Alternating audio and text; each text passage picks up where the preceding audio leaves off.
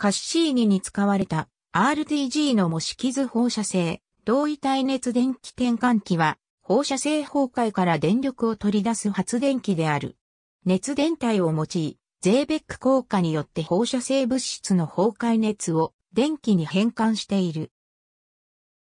原子力電池の一種である。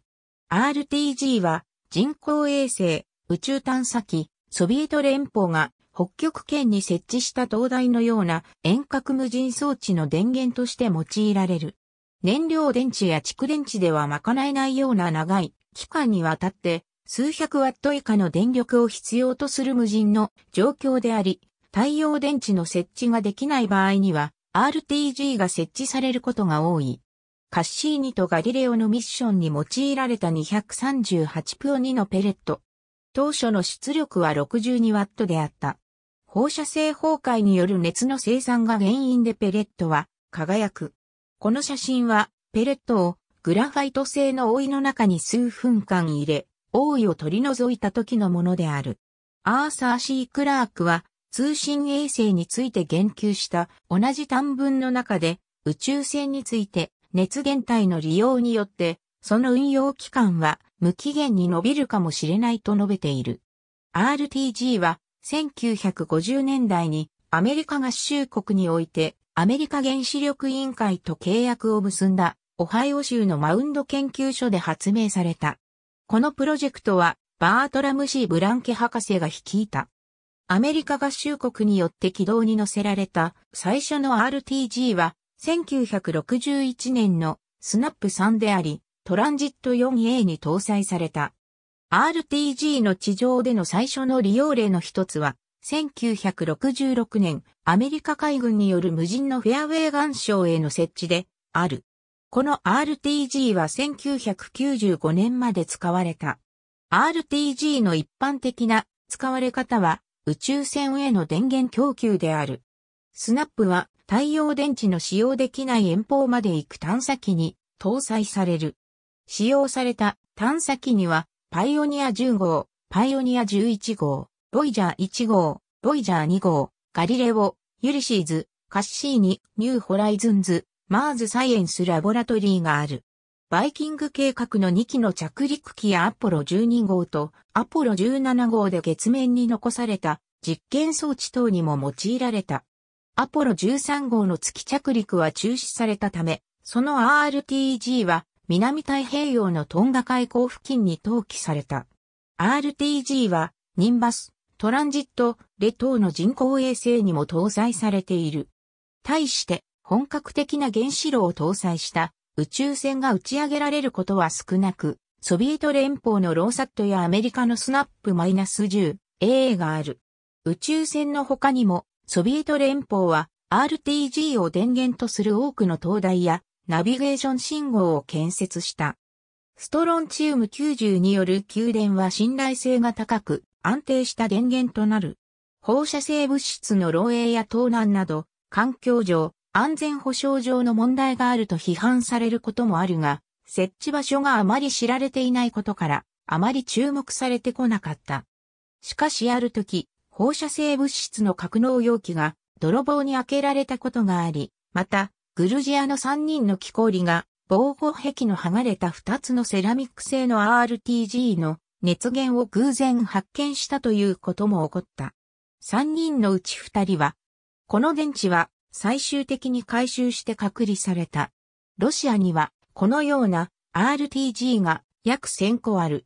そのすべてが10年の寿命をとっくに過ぎたものである。それらはすでに機能を失い、廃棄を待っていると見られるものである。そのうちのいくつかは放射能汚染の危険にもかかわらず、金属回収業者によって金属の格納容器を剥ぎ取られている。アメリカ空軍は RTG を主にアラスカ州に設置されたトップロック及び西部、イグルーの遠隔レーダーシステムの電源として用いている。過去には非常に長い寿命を持つことから、プルトニウムを使った非常に小さな RTG が埋め込み式心臓ペースメーカーの電源として使われていた。2004年現在で約90個が未だ使われていた。RTG の設計は標準的な核技術を用いたシンプルなものである。主要部は頑丈な放射性物質の格納容器であり、熱電体が容器の壁の中に設置され、それぞれの熱電体の端はヒートシンクにつながれている。燃料の放射性崩壊は熱を生み出し、それが熱電体を流れてヒートシンクに達し、この過程で電気が発生する。熱電体はゼーベック効果によって熱エネルギーを直接電気エネルギーに変換する熱電効果装置である。どちらも電気を伝導する種類の異なった二つの金属がつながれ閉じたループを構成している。二つの接続部が異なる温度になると電流がループを流れる。カッシーニ打ち上げ前の RTG の検索見立て胸内のニューホライズンズ RTG に用いられる放射性物質は次のいくつかの特徴を備える必要がある。高いエネルギー放射を生み出さなければならない。崩壊あたりのエネルギー放出は、モルあたりのエネルギー生産に比例する。一般的に、アルファ崩壊では、ストロンチウム90、または、セシウム137のベータ崩壊の約10倍のエネルギーを生み出す。放射は容易に吸収され、熱放射に変換される形でなければならない。アルファ放射が好ましく、ベータ放射は青銅放射でかなりの量のガンマ線、X 線を放出し、そのため防護壁を厚くしなければならない。同位体は別の崩壊系列であっても多量のガンマ線、中性子線やその他の透過性の放射線を出すものであってはならない。比較的継続的に長期間エネルギーを放出するように半減期が長いものでなければならない。ある量での時間あたりのエネルギー放出量は半減期に反比例する。半減期が2倍で崩壊あたりのエネルギーが同じ半導体はモルあたり半分の仕事率しか生まない。RTG によく使われる放射性同位体の半減期は数十年であるが、特定の目的のためにはさらに短い半減期の同位体が使われることもある。宇宙飛行用には質量を体積あたり多くの量の仕事率を生む燃料でなければならない。大きさの制限がないならば、密度と重量は地球で使うにはそれほど問題にならない。放射線のエネルギーか崩壊前後の質量、損失量が基地であれば、崩壊エネルギーを計算できる。最初の2つの基準により、利用可能な放射性同位体は30個以下に制限される。プルトニウム238、キュリウム244、ストロンチウム90が最もよく用いられるが、ポロニウム210、プロミチウム147、セシウム137、セリウム144、ルテニウム106、コバルト60、238プ、90SR238 プは防護壁が最も薄くてもよく、寿命が最も長い。エネルギー放出は、キログラムあたり 0.54kW である。最後の基準に当てはまり、鉛防護壁の厚さが 25mm 以下で済む。同位体は3つしかない。238プーは、その3つの中で最も望ましいもので、鉛防護壁の厚さは 2.5mm 以下でよく、格納容器が適切なものであれば、238プの RT は多くの場合、鉛防護壁を必要としない。238プは酸化プルトニウムの形で、最も後半に RTG の燃料になる。238プは87.7年の半減期を持ち、出力密度も手頃で、ガンマ線や中性子線の放出もかなり少ないため、極めて有用である。90SR はベータ崩壊で崩壊するが、ガンマ線の放出は無視できるほど少ないため、防護壁はほとんど必要ない。半減期は28.8年で238、プよりも短く、崩壊エネルギーも小さい。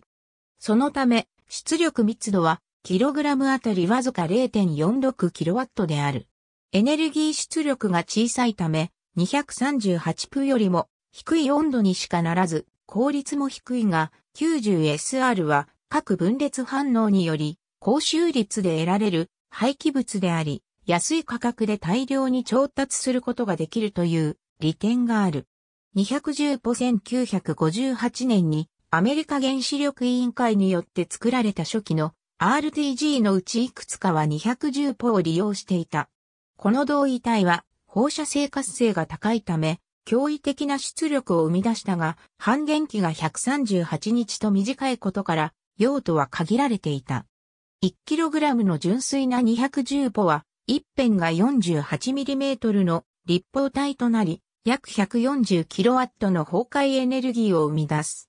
誘拐させるために必要な熱は 60kJ、キログラムで蒸発させるために必要な熱はその約10倍である。効率的な冷却系がなければ自己発熱で誘拐し、一部は蒸発してしまう。242C マイナー、244C マイナー、241アム 242C マイナーと 244C マイナーはどちらも研究されているが、自発核分裂によりガンマ線や中性子線が発生し、厚い防護壁を必要とする。241アムは238プよりも長い半減期を持つ将来的な候補である。241アムの半減期は432年であり、数世紀にわたって電源を供給することができると考えられている。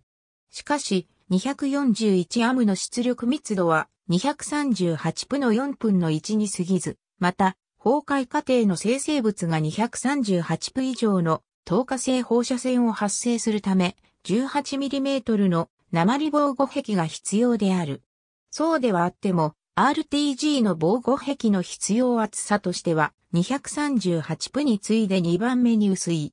現在は、世界的に238プが不足していることから、241アムには大きな期待が寄せられている。放置され、荒らされた状況下に置かれているソビエト連邦のストロンチウム 90RTG。ほとんどの RTG は半減期が87.7年の238プを用いている。この同位体を用いる RTG は1年ごとに出力が0.787%ずつ小さくなる。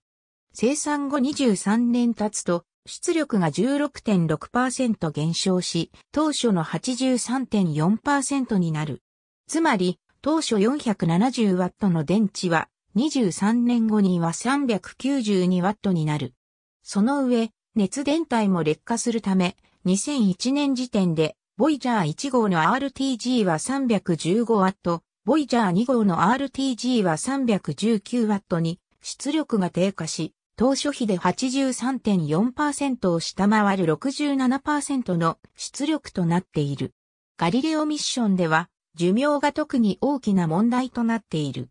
当初は1986年に打ち上げが予定されていたが、チャレンジャー号爆発事故の影響で延期された。そのため、探査機は1989年の打ち上げまで4年間倉庫に保管されていたことから、RTG が劣化し、ミッションの電力供給について計画を立て直さなければならなかった。RTG は放射性物質からの熱を電気に変換するのに熱電体を用いている。熱電体は非常に信頼性が高く長持ちするものの効率が非常に悪い。効率が10%を上回ることはなく、ほとんどの RTG の効率は3%から7%である。宇宙ミッションに用いられる熱電体の材料は、ケ素ゲルマニウム合金、テルルカ鉛、テルルカアンチモンマイナスゲルマニウム銀合金等である。熱を電気に変換する別の技術の採用による効率の改善の研究が進められている。高効率の達成により、同じエネルギーを得るのに必要な放射性燃料の量は少なくなり、発電装置全体の重量も軽量化が可能となる。これは宇宙船の打ち上げコストに決定的に重要である。エジソン効果を用いたエネルギー変換装置である熱電子発電機は10%から20%の効率が可能であるが、通常の RTG よりも高い温度が必要である。初期の210ポを用いた RTG のいくつかは熱電子発電機を採用しており、他の同位体でも実現の可能性はあるが、半減期が短いと利用できない。熱密置電力電池は可視光よりも熱い表面から出る赤外線を電気に変換する以外は太陽電池と同じ原理である。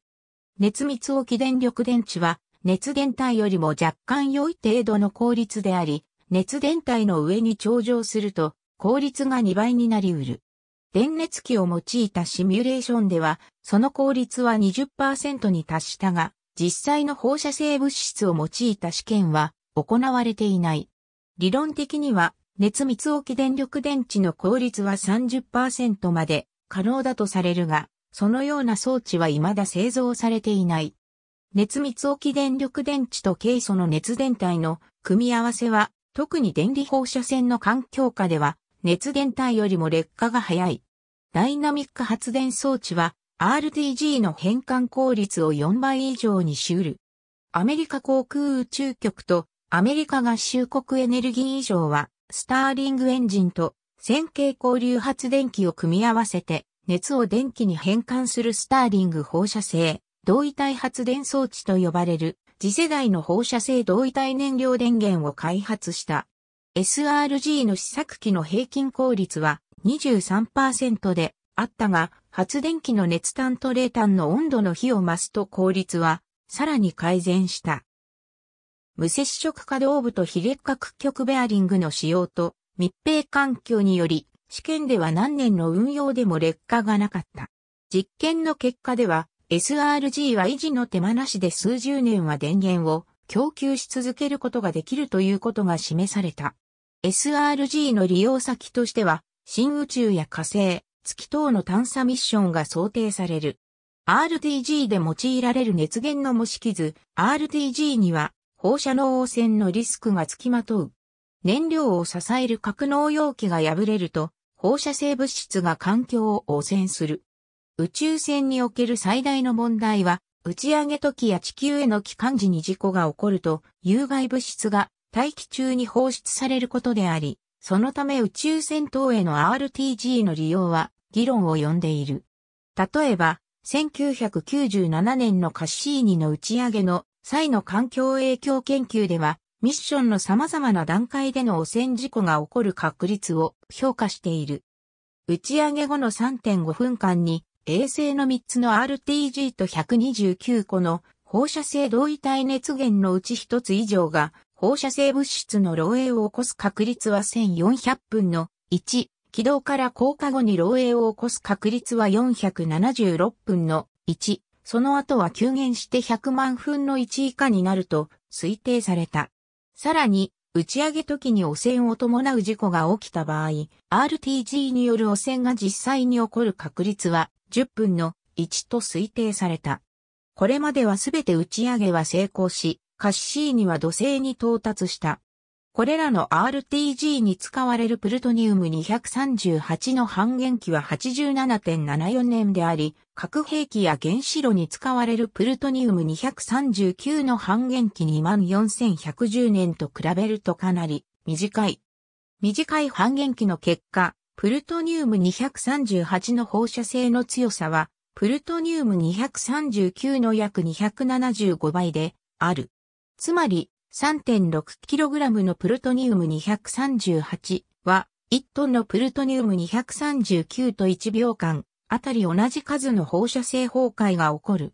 放射性物質の吸入による2つの同位体の致死性はほぼ同じなので、プルトニウム238はプルトニウム239の約275倍毒性が強いということになる。両動位体から放出されるアルファ線は皮膚を透過しないが、吸入、または摂取されると体内から放射線を発することになる。特にリスクが大きいのは、表面に同位体が吸着しやすい骨格と同位体が集まり濃縮される肝臓である。これまでに RTG を搭載した宇宙船の事故が何件か知られている。最初の事故は、1964年4月21日のアメリカでの打ち上げの失敗である。航行衛星トランジット 5BN-3 は、軌道への到達に失敗し、大気圏際突入にマダガスカル北部で燃え尽きた。スナップ -9R 内の1万7センチの金属プルトニウム燃料が南半球中の大気に散らばり、その痕跡は数ヶ月後まで検出された。2番目の事故は、1968年5月21日にバンデンバーグ空軍基地から打ち上げられた気象衛星ニンバス B-1 のローンチビークルが直後に軌道を逸脱し、意図的に破壊された事故である。スナップ -19 は比較的不活性な二酸化プルトニウムを含んでおり、5ヶ月後にサンタバーバラ海峡の海底で元の状態のまま回収され、環境への汚染は検出されなかった。1969年に RTG を搭載した月ローバーを運ぶ2機以上のコスモス衛星が失敗した。両機とも燃え尽きる際に放射線を放出した。1970年4月のアポロ13号のミッションの失敗では RTG を積んだアポロ月着陸船がフィジー上空で大気圏に再突入した。スナップ -27 は44,500地のに酸化プルトニウムを含んでおり、トンガ海溝の水深 6km から 9km の地点に墜落するように軌道が調整された。大気と海水のサンプリングの結果からプルトニウム238の汚染が見られなかったことから、設計通りキャスクが無事で海底に沈んでいると推定された。キャスクは燃料を少なくとも半減期10回分は保持すると考えられている。米国エネルギー省は海水の試験を行い、再突入に耐えるように設計されたグラファイト製の多いは健全で、プルトニウムの露出も起こっていないことが確認された。続く調査では、この海域の自然放射線の量も上昇していないことが確認された。アポロ13号の事故は、地球と月の間から速い速度で再突入してきたため、シナリオとしては極端なものだったが、この事故は高い安全性の次世代 RTG の設計の正当性を立証した。これらの他にも1973年から1993年に RTG ではなく原子炉を積んだソビエトやロシアの宇宙船の事故が5件ある。放射性物質漏出のリスクを最小化するため、燃料は独自の熱シールドを持つ個別のモジュールの中に収められる。燃料はイリジウムの層で囲まれ、高強度グラファイトの覆いで覆われる。イリジウムとグラファイトは耐食性と耐熱性を持つ。グラファイト容器は大気圏再突入の際の熱に耐えるように設計されたエアロゾルで包まれる。また、プルトニウム燃料自体は耐熱性のためにセラミック化され、蒸発やエアロゾル化のリスクを軽減している。セラミックはまた高度に不要性である。RTG を搭載した宇宙船の最も直近の事故は1996年11月16日に打ち上げられたロシアのマーズ96である。二つの RTG は合計 200g のプルトニウムを含み、設計通り再突入による損傷はなかったと考えられている。現在では、チリの域圏の東 32km 沖を中心に 320km、80km の北東から南西に伸びる楕円内のどこかに沈んでいると推定されている。ソビエト連邦がそれらのいくつかは、スクラップにするために不法に分解され、完全に剥き出しか防護壁に欠損のある SR-90 宣言が海洋に投棄されたと考えられている。アメリカ国防総省は、米タエムの放射宣言が、テロリストが汚い爆弾を作る材料に使われることを懸念している。1961年以来、アメリカ合衆国では、28機の放射性、同位体エネルギー源の宇宙船が安全にミッションを遂行している。RTG と原子炉は全く異なった原子核反応を利用している。原子炉は制御された核分裂のエネルギーを利用する。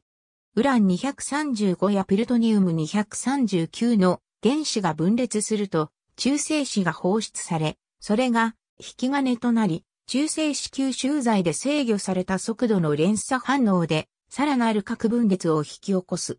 需要に応じて出力を変更でき、管理のために完全に停止できるというメリットがあるが、危険な高出力での暴走が起きないように保守が必要というデメリットがある。RTG では連鎖反応は起こらず、同位体の量とその半減期のみに依存した完全に予測可能で安定的に減少する速度で熱が生産される。自己的な暴走は原理的に起こり得ない。一方、熱生産の量を需要に応じて変化させることができず、不必要な時にも停止できない。過剰需要時には、蓄電池等の補助的な電源供給が必要であり、打ち上げ前や初期飛行段階も含めて、すべての段階で適正な冷却が必要である。プルトニウム238には、核拡散のリスクはない。その高い出力から、RTG 燃料には向いているが、核兵器には使えない。プルトニウム238は、核分裂可能ではあるが、核分裂性ではない。稀に、アルファ崩壊の代わりに、自発的に核分裂することはあり、また核分裂で出る高速中性子によって分裂を誘起されることはあり得るが、核兵器に必要な持続的な連鎖反応は起こらない。核分裂性のプルトニウム239よりも比較的高い頻度で自発的に分裂するため、プルトニウム238の混入は核兵器を劣化させ、不完全核爆発の可能性を高める。RTG は将来の星間探査機への利用が提案されている。この例は NASA により2003年から行われているイノベーティブインターステラーエクスプローラーである。アメリシウム241を用いた RTG のミッションへの利用が2002年に提案された。アメリシウム241はプルトニウムよりも半減期が長く1000年以上にわたって星間探査機に電源を供給できるとされた。ベエネルギー省は宇宙探査機の動力源に使用する非兵器級プルトニウムの生産を2013年3月に25年ぶりに再開した。米国は宇宙探査機用のプルトニウム238をサウスカロライナ州サバンナリバーサイトの原子炉で生産していたが、1980年代後半に安全上の問題から生産を中止し、ロシアからの購入に切り替えていたが、ロシアからの供給も2010年に終了し、在庫が減っていた。米ロ以外としては、2013年12月に打ち上げ、予定の上画3号で、中国が初めて RTG を使用する予定。AS グは、実際には RTG ではなく、放射性同位体の崩壊熱を利用するスターリング、発電機である。ベス -5 ブーックは、熱電体を使って熱から直接電気を発電する高速炉。スナップ -10A は濃縮空欄燃料を使用し、水素カジルコニウムを原則剤に使い、液体ナトリウムカリウム合金を冷却剤に使い、ベリリウム反射剤を使って原子炉の起動、停止を制御する。炉心からの熱は熱電変換装置を使って電気に変換される。ありがとうございます。